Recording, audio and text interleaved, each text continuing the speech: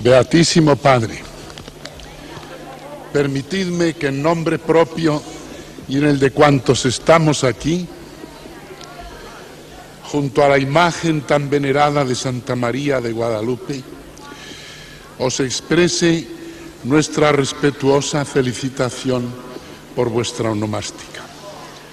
Rezamos con fervor por vuestra santidad y pedimos por intercesión de María Santísima y de San Carlos Borromeo que Dios os guarde y os proteja siempre.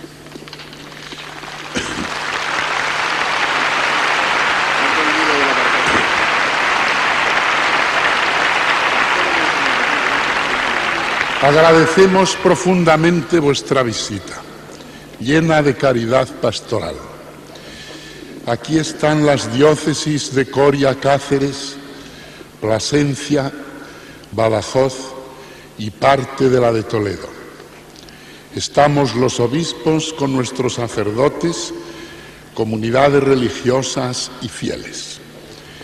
Está presente Extremadura con sus autoridades y su pueblo, noble región de España cuyos hijos se han distinguido en la empresa evangelizadora de América.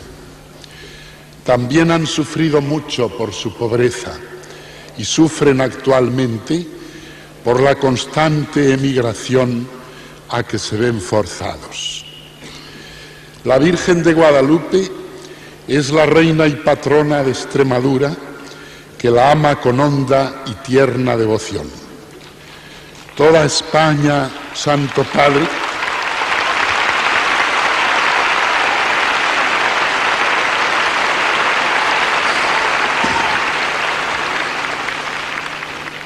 Toda España, podemos decir sin exageración, se ha postrado a lo largo de los siglos ante esta imagen que quizá os recuerde un poco a otra que os es muy, muy querida de vuestra patria, la de Czestochowa.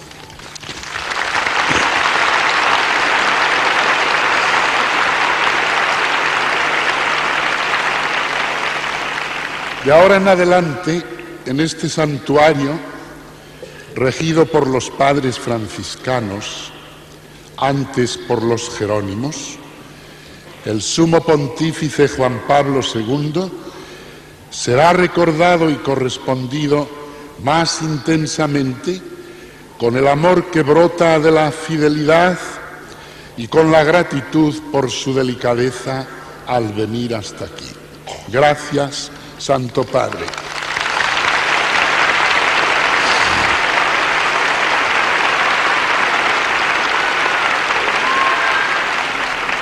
Muchas gracias. Vuestra visita será fecunda para la evangelización hoy. La Virgen de Guadalupe es también madre de evangelizadores y por eso ha sido llamada Reina de la Hispanidad. Gracias.